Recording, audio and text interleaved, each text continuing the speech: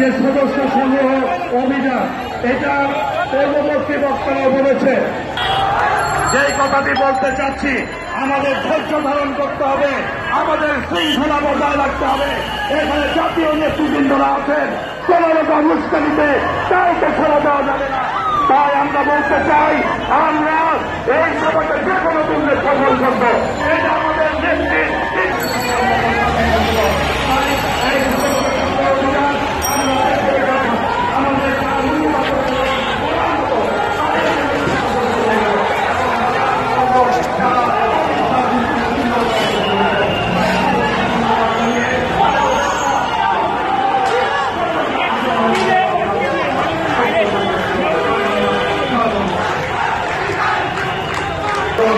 online সাংগঠনিক সম্পাদক